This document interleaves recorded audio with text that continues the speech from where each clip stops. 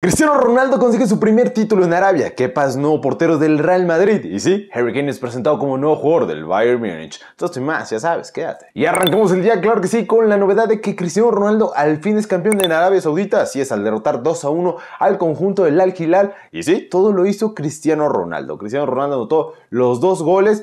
Primeramente para mandar el juego a tiempos extras y después en el primer tiempo extra el portugués lo liquidó para quedar 2 a 1 marcador final. Que para el exportero del Chelsea ahora pasa a ser nuevo jugador del Real Madrid. Y sí, esto como reemplazo de Courtois, que será aproximadamente de un año, llega a sesión a préstamo por una temporada sin opción a compra por parte del Chelsea. Es bastante criticado este fichaje debido a que Kepa no ha tenido el mejor nivel últimamente, pero esperamos que le vaya muy bien en esta nueva etapa con el Real Madrid de nueva temporada y bueno, va a vivir el sueño que cualquier portero le gustaría ser, el portero del Real Madrid, uno de los equipos más grandes del mundo. Harry Kane al fin es presentado como nuevo jugador del Bayern Múnich. Así es, el día de hoy ya fue presentado como nuevo jugador del Bayern Múnich. Y sí, hoy se podía haber estrenado en la Supercopa de Alemania, pero lamentablemente ni jugó y aparte el Bayern Múnich fue goleado 3-0 ante el conjunto del Leipzig, una vergüenza la verdad, pero este pues ya ni Harry Kane ni en el Bayern Múnich va a poder ser campeón. La verdad es que yo ya no sé en qué equipo puede ser campeón Harry Kane.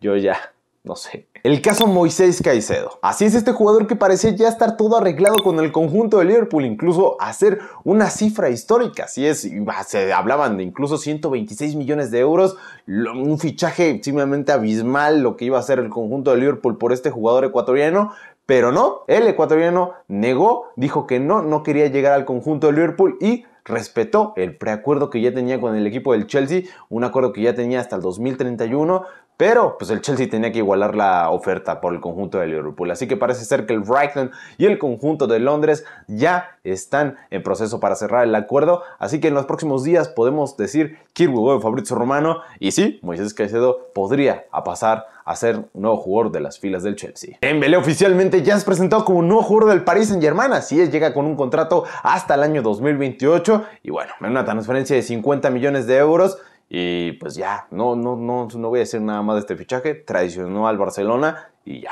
punto. Jude Bellingham brilla en su debut con el conjunto del Real Madrid. Así es, parece ser que este jugador de Inglaterra ya terminó encantando a todos los aficionados madridistas. Anotó gol en el primer partido de la liga del conjunto del Real Madrid. Y vaya, pues que también está jugando desnudo el jugador. La verdad, lo está haciendo bastante, bastante bien. Y esperemos, la verdad, que lo haga bastante bien Jude Bellingham.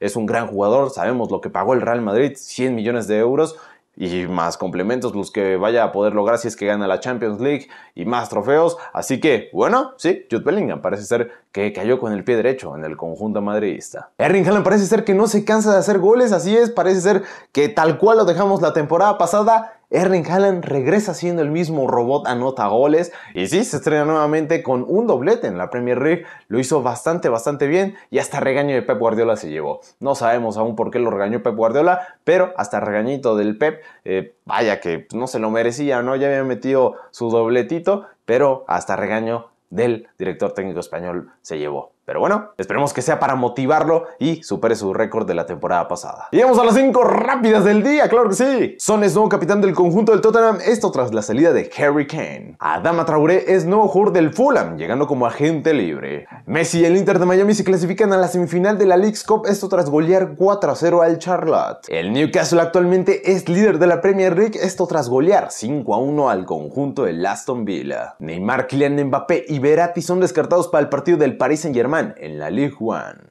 Como que ya, como que ya no me siento tan cansado, ¿eh? ya, ya estoy agarrando ritmo. Bueno, espero que te haya gustado el video y si es así, no olvides regalarme tu like, tu suscripción y tu comentario para ver, para leerte, para poder interactuar. Voy a estar contestando, he estado contestando últimamente, así que sí, me interesa leerte y saber qué es lo que piensas de las noticias. Así que ya sabes, nos vemos a la siguiente.